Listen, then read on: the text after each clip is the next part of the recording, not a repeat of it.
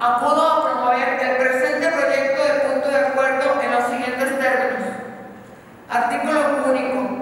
El Congreso del Estado Libre y Soberano de Tamaulipas, con pleno respeto a las respectivas competencias, formula atento exhorto a la titular de la Secretaría de Salud para que en coordinación con las dependencias y entidades de la Administración Pública Federal competentes se implementen acciones y medidas impulsar y generar las condiciones técnicas, clínicas y administrativas necesarias, así como